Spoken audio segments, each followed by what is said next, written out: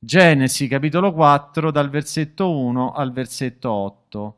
Adamo conobbe Eva, sua moglie, la quale concepì e partorì Caino e disse, ho acquistato un uomo con l'aiuto del Signore. Poi partorì ancora Abele, fratello di lui. Abele fu pastore di pecore, Caino lavoratore della terra. Avvenne dopo qualche tempo che Caino fece un'offerta di frutti della terra al Signore. Abele offrì anch'egli dei primogeniti del suo gregge e del loro grasso.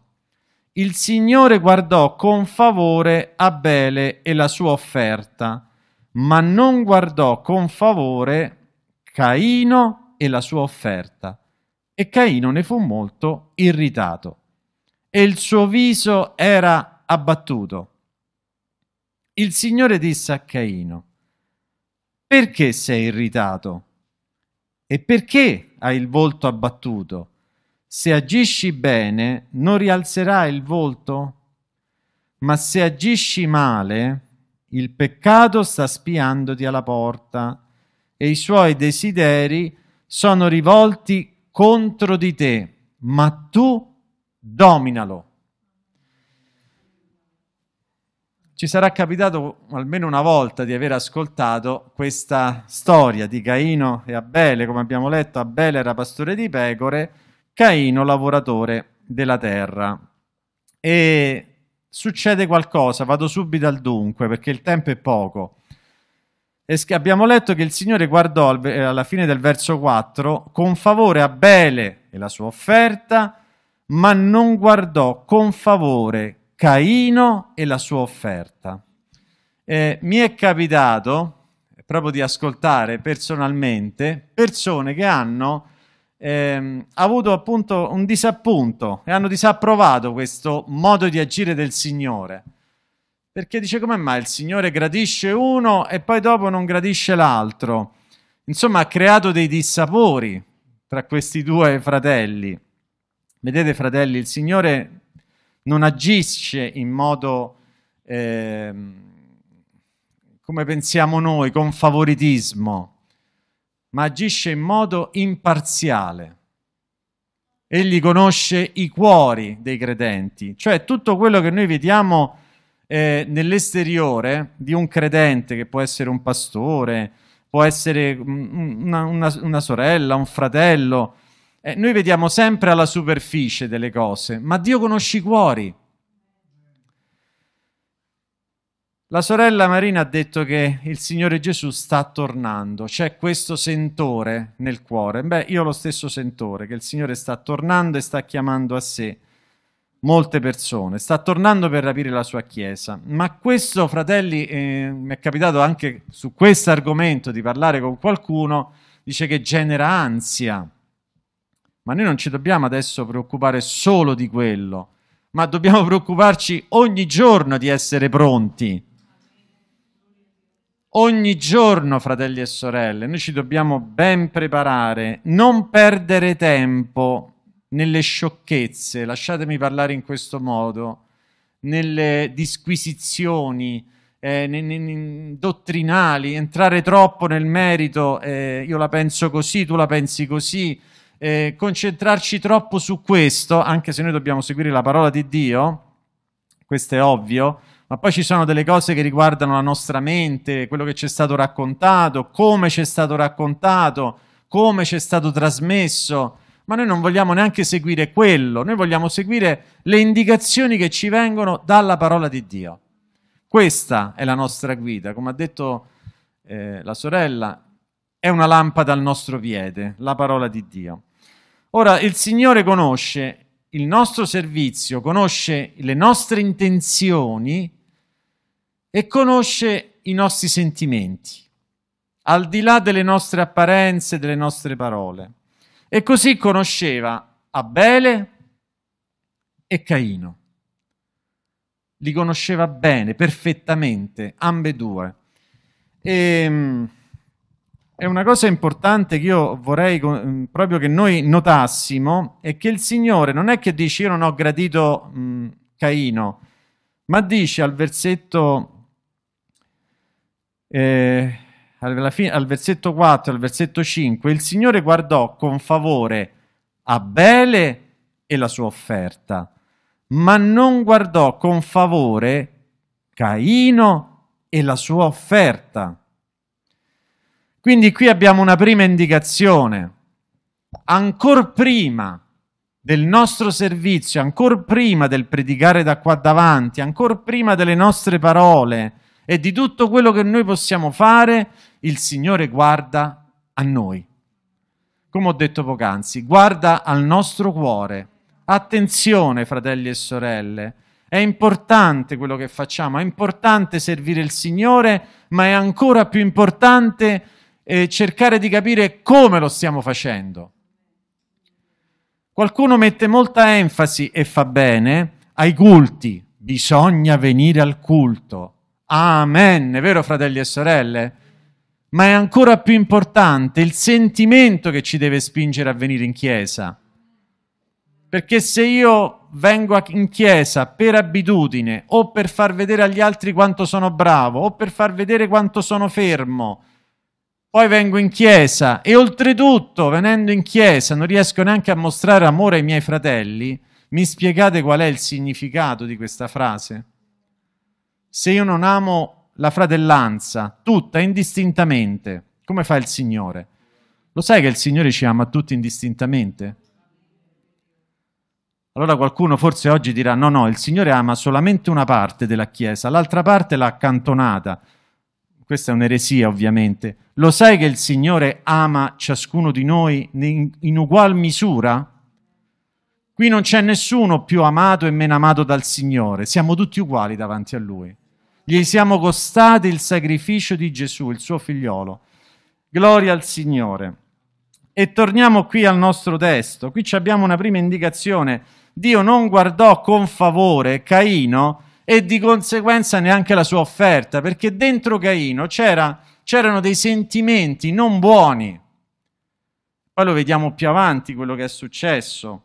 C'era un malessere verso il suo fratello, c'era quello che Leggiamo Proverbi capitolo 14, versetto 30, così ci rendiamo subito conto di che cosa stiamo parlando. Proverbi capitolo 14, versetto 30. E dice così la parola di Dio, un cuore calmo è la vita del corpo, ma l'invidia è la carie delle ossa. L'invidia, questo malessere, questo malessere. Questo malessere, fratelli, eh, si avverte in tanti luoghi. Io parlo sempre del luogo dove sto io, nel luogo di lavoro eh, a volte mh, nascono queste invidie poi senza motivazione, perché qui nessuno ha più dell'altro. Questa cattiveria gratuita che a volte viene proprio, eh, a volte insomma si, si, si, percepisce, non parlo della Chiesa, eh, parlo degli ambienti di lavoro, questa cattiveria gratu- gratuita, ma da che cosa scaturisce? Da che cosa scaturisce? Spesso e volentieri solamente perché vedono una persona serena, una coppia serena, felice che si ama e questo, scaturisce, e questo scatena l'inferno. Scatena l'inferno. È un malessere, fratelli e sorelle. E, ehm, il vedere la felicità altrui, il vedere un, una persona che è contenta, che si accontenta dello stato in cui si trova, può provocare questo malessere. E così era Caino con Abele. Aveva questa tensione nel cuore e non lo faceva stare neanche tranquillo. Fratelli, l'invidia è qualcosa di terribile, di terrificante. I capi sacerdoti consegnarono Gesù a Pilato per una questione, lo dice la parola di Dio, non è che lo dico io, eh, di invidia. Vedevano Gesù che predicava nella sua dolcezza, che predicava nell'amore, ovviamente, lui era Dio in terra, non lo sopportavano più. Basta, lo consegniamo a Pilato perché questo non lo possiamo più sentire. Vedete che cosa scatena, fratelli e sorelle? E gli apostoli? Lo stesso motivo. Se leggiamo un attimino Atti capitolo 5, versetti da 16 a 18. Ve lo voglio leggere per far comprendere sempre meglio questo, questo sentimento, se così possiamo chiamarlo, questo stato d'animo. Dice la, for- la folla correva dalle città vicine a Gerusalemme portando malati e persone tormentate dagli spiriti immondi. Sentite che belle frasi, che belle parole. E tutti erano guariti. L'arresto degli apostoli, il sommo sacerdote e tutti quelli che erano con lui, cioè la setta dei Sadducei, si alzarono pieni di invidia e misero le mani sopra gli apostoli e li gettarono nella prigione pubblica. Cioè, cioè, cerchiamo di ragionare un attimo. Tutti erano guariti, il Signore stava benedicendo, stava compiendo un'opera. Questi religiosi di quel tempo, invece di rallegrarsi, dice meno male il Signore sta operando, pieni di invidia, pieni di invidia. Questa invidia aveva addirittura accecato gli occhi cioè non vedevano più l'opera di Dio, vedevano solo il male, ma non vedevano il male in loro stessi. Attenzione, perché quando noi abbiamo questo nel cuore, non riusciamo più a vedere, fratelli e sorelle. È importante. Infatti, dove c'è invidia, dice Giacomo, c'è contesa e c'è disordine e ogni cattivazione. C'è, purtroppo è così si alzarono pieni di invidia. Ci sono persone, credenti anche purtroppo, credenti carnali, che si rallegrano, cioè compatiscono eh, oppure si immedesimano in coloro che soffrono, ma non riescono a rallegrarsi in coloro che si rallegrano. Questo non è amore di Dio, fratelli. Noi ci dobbiamo rallegrare con quelli che si rallegrano e piangere con coloro che piangono. Non è che quando vediamo qualcuno che sta male, poverino, poverino. Poi quando vediamo un fratello che è una sorella che viene benedetta, scatta l'invidia. No, questo succede nel mondo, fratelli. Non succede nella Chiesa, non succede nei figli di Dio, in coloro che cercano la presenza di Dio. E qui dobbiamo stare attenti, fratelli. Primo Giovanni capitolo 3 versetto 2 dice così, non come Caino che era del maligno e uccise il proprio fratello, perché l'uccise? Perché le sue opere erano malvagie. Ecco che qui entriamo proprio nel nocciolo della questione e quelle di suo fratello erano giuste. Le sue opere erano malvagie. Dice la parola di Dio, custodisci il tuo cuore più di ogni altra cosa, perché da esso provengono le sorgenti della vita. Noi dobbiamo custodire il nostro cuore, fratelli e sorelle, guardarci dal maligno. Eh, qualcuno ha detto l'importante è servire il Signore. No, l'importante è il sentimento che abbiamo nel cuore. Noi non è che col servizio a Dio compensiamo i nostri peccati, eh? Attenzione a non fare come fa la Chiesa, non voglio entrare nella critica, però sono costretto, come fa la Chiesa tradizionale, cioè nel senso io pecco, faccio quello che voglio, poi vado lì, qualche Ave Maria, qualche cosa, tutto a posto, torno a casa. Cioè compenso, magari con delle offerte, compenso, eh, non, voglio, non, voglio, sparare eh, contro la Chiesa tradizionale, non, non, è nel mio, non è nella mia indole. Tutti abbiamo dei difetti e in questo modo noi compensiamo. Dice, vabbè, ho dato l'offerta, adesso posso pure sbagliare. Nell'ambito evangelico io servo il Signore, però mi comporto male con i fratelli. Vabbè, compenso. Però l'importante è che servo il Signore. No, no, no, no, non funziona così nelle vie del Signore. Abele quando andò lì a presentare l'offerta, il Signore dice, eh, Caino, scusate, il Signore non, non guardò con favore né lui né l'offerta Guardate che Dio guarda nel profondo del cuore. Non è la chiesa, non è il luogo, non è il posto, non sono gli evangelici. Qui non si parla di qui, parliamo di me e te davanti al Signore. Cioè lui vede ogni cosa.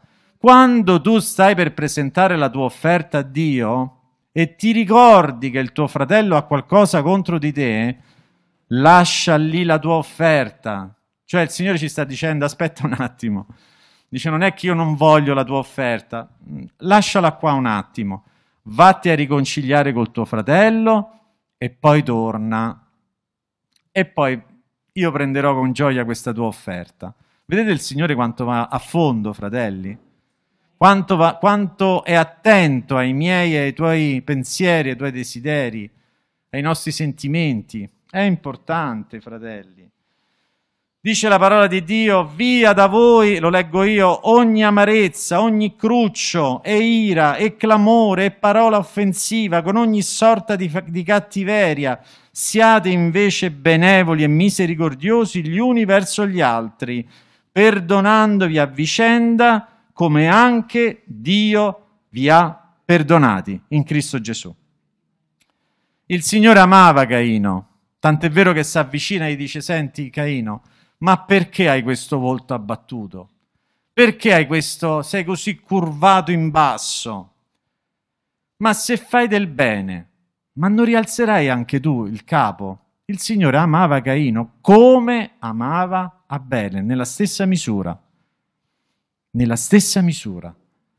Gloria al Signore. Perché? Se agisci bene, non rialzerai il volto quante persone, fratelli e sorelle, che mi capita di vedere in giro, ma un po' la colpa purtroppo è anche del cellulare, che camminano curvi, sempre così, con la testa bassa, con la testa bassa, mesti, tristi, angosciati. Il credente in Cristo cammina con la testa alta, fratelli, perché ha lo sguardo rivolto verso il Signore, è fermo nei suoi sentimenti e quindi il Signore conserva la pace in questi cuori. Fratelli, sorelle, amici, teniamo lo sguardo in alto. Come ha detto la sorella, la mattina preghiamo il Signore, lodiamolo, stiamo in comunione con Lui, leggiamo la Sua parola, dice tutte le cose buone, tutte le cose vere. Insomma, la conoscete, tutto, l'ha fatto, ce l'ha fatto imparare a memoria il fratello Giacomo. Siano oggetto dei vostri pensieri, liberate la mente dalle cose negative, dai timori, dalle paure, glorifichiamo il Signore e nostro, il nostro atteggiamento cambierà. Non staremo più sempre con la testa bassa, sempre mesti, sempre tristi, sempre chiusi. A parte se c'è qualche patologia, eh, quello è un altro discorso. Eh? Attenzione, separiamo i due discorsi. Se c'è una malattia lì, eh, il problema è un altro. Dobbiamo imparare a toglierci, a depositare questi pesi, queste amarezze ai piedi del Signore. Dice la parola di Dio e poi andremo in preghiera, deposto ogni peso. E il peccato che così facilmente ci avvolge, corriamo, corriamo con perseveranza la gara che ci è proposta. Ma come facciamo a correre nelle vie di Dio se siamo continuamente appesantiti da tante cose. Abbiamo lo sguardo più che sul Signore, ce l'abbiamo sugli altri. Dobbiamo, fratelli, sorelle, amare il Signore, amare coloro che sono intorno a noi, fissare lo sguardo su Gesù e andare avanti, correre nelle vie del Signore. Fratelli, sorelle, io voglio correre, non voglio rimanere fermo, fisso, sempre sulle posizioni, no, no, no, sulle stesse idee. Voglio che il mio cammino sia sempre più una corsa verso il Signore, verso l'opera di Dio. E questa è la strada. Dice la parola di Dio in Giovanni capitolo 10, versetto 10, e poi andremo in preghiera. Sentite che bello. C'è qualcuno che vuole atterrare, atterrarci in qualche modo, vuole curvare la nostra vita. È scritto che il ladro non viene se non per rubare, ammazzare e distruggere. Questa è l'opera del diavolo. Ma Gesù dice un'altra cosa. Io sono venuto perché abbiano la vita e l'abbiano in abbondanza. Io voglio abbondare nell'opera di Dio. Qualcuno potrebbe dire perché vuoi abbondare? Ma mica per me stesso. Perché so che quando il Signore abbonda la sua benedizione in me, io posso in qualche modo, questa benedizione poi trabocca e cade anche negli altri. Questo è il desiderio del nostro cuore, fratelli. Ricerchiamo la benedizione di Dio. Vogliamo chiudere gli occhi e pregare. Alleluia. Gloria al Signore Gesù, gloria al Signore Gesù. Via da voi ogni amarezza,